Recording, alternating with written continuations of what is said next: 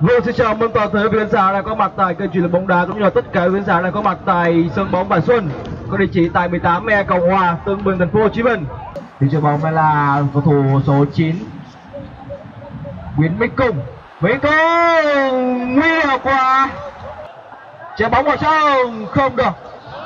Bóng vẫn còn.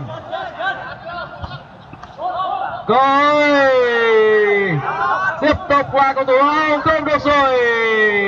Và điểm tương đối hiền là của cầu thủ số 7 cao ăn rất nguy hiểm. Quá người rồi làm gì đây đi điểm cầu vào bóng vẫn con và dứt điểm vừa rồi là của cầu thủ số 9 bên phía các hồ hoàng con số an phú. Đó chính là Minh hiện tại thì các cầu thủ chơi bóng còn nguy hiểm quá như vậy là có bàn thắng dành cho các đầu áo đỏ người ghi bàn vừa rồi đó là cầu thủ số 21 đó chính là cầu thủ ngô tùng duy. Và chạy chỗ hợp lý và đánh đầu, đánh bại hoàn toàn đối thành bên phía anh em ghi bàn mẫu bảy một không cho các đầu vương áo đỏ. Và thắng khai không tới bế tắc cho trận đấu lần này. Che chắn khôn ngoan, rất khỏe dứt điểm bóng quất con làm gì đây? Không ra, bóng quất con ra đi có tới hai pha dứt điểm liên tiếp của đảng áo đỏ. Tuy nhiên thì các hồng họ đang gặp may mắn. Và không cho các đồng áo đỏ và bóng lên. Làm gì đây? Coi có như vậy là được công nhận và dứt điểm vừa rồi đó là đội trưởng bên phía đầu áo đỏ. À, trọng tài lê văn tâm đã không công nhận bàn thắng vừa rồi. Đó là một quyết định có sự tham vấn của công nghệ VAR không có bàn thắng dành cho các đội quân số bóng A Phù tỷ số lúc này vẫn còn một không. Joker và rất rất nhiều những nhà tài trợ khác nữa. Nhiều quá, như vậy là có bàn thắng dành cho cao bồ đỏ và để bước một không thực sự tốt của cầu thủ số 14 đó chính là Carson bóng đã dội ra và cầu thủ áo đỏ đã trước thời cơ và xuất điểm một cách vô cùng lạnh lùng, đánh bại hoàn thành thủ môn số 1 anh Trung. Rất hay quá chớp choáng cầu thủ ghi bàn vừa rồi đó chính là cầu thủ số 68 bên phía câu lạc bộ Hoàng Số A Phú. Tỷ số này là 2-0 nhận cho các quân áo đỏ. Vẫn còn thế ơi làm gì quang ơi căng ngang đi nào không được rồi.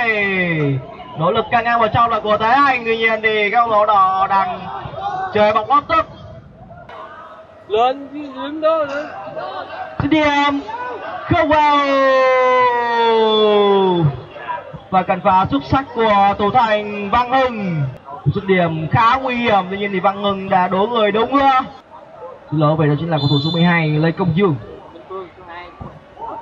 Nguy hiểm quá, bóng vượt còn là gì đây? Dứt điểm! Và góc cầu vào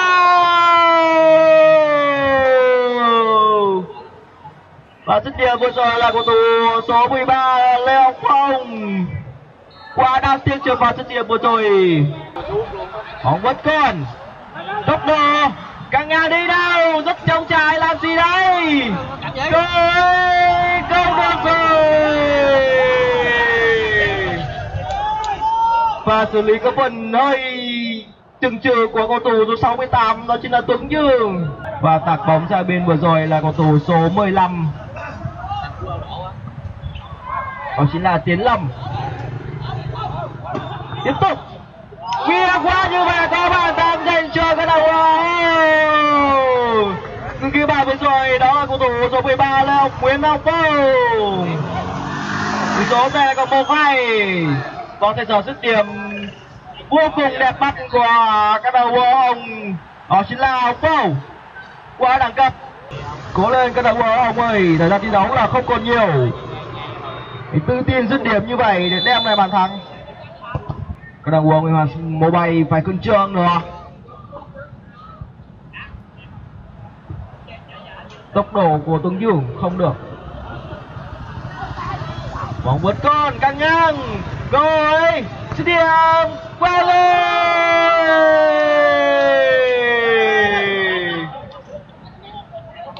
Và xin điểm vừa rồi là của cầu thủ số 10 lê thành nhân. Cú dứt không thực sự đánh bại hoàn toàn đối thành bên phía Huy Hoàng Mobile. Tỷ số này là 3-1 có vẻ như đây là dấu chấm hết cho các cầu thủ Huy Hoàng Mobile. Bởi thời gian không còn nhiều nữa đâu. Thời gian thi đấu là không còn nhiều. Các đồng quân Huy Hoàng Mobile phải cân trương nữa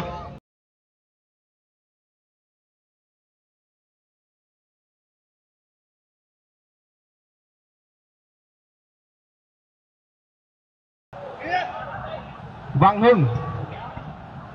Rất hay, Quá người rồi. Tốc độ của Thành Nhân. Làm gì đấy Không được Bóng vượt con Thành Nhân Đập nhà không được rồi. Như vậy là trọng tài đã xác định Sẽ có một quả đá phạt đền dành cho cái đầu quân áo đỏ.